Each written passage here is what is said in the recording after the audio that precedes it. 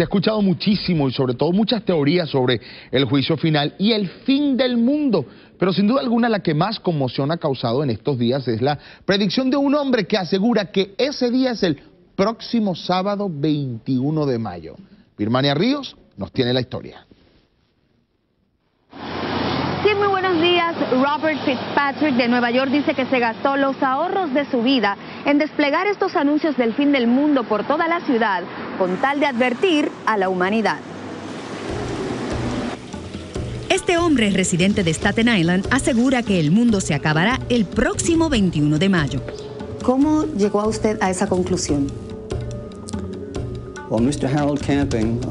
Influido por Harold Camping, un pastor y propietario de una cadena de estaciones cristianas, Fitzpatrick asegura que el día del juicio final se producirá exactamente 7.000 años después de que Noé se salvara del diluvio universal, o sea, el próximo sábado.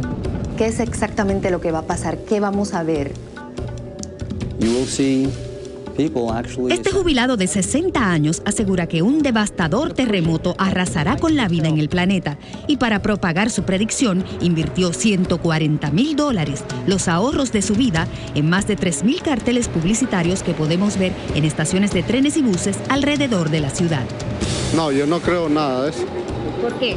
Porque no es posible, pues. No puede ser posible eso.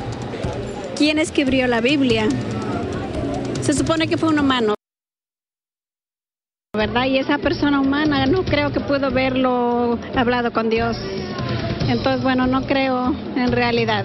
Fitzpatrick, quien también escribió un libro donde explica cómo leyendo la Biblia se pueden hacer cálculos numerológicos que respaldan su conclusión, dice que está tan convencido de su profecía que no hay manera de que ésta falle.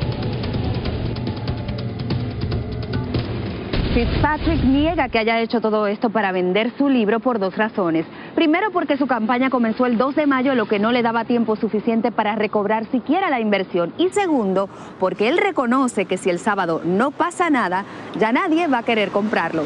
Ahora regresamos con ustedes al estudio.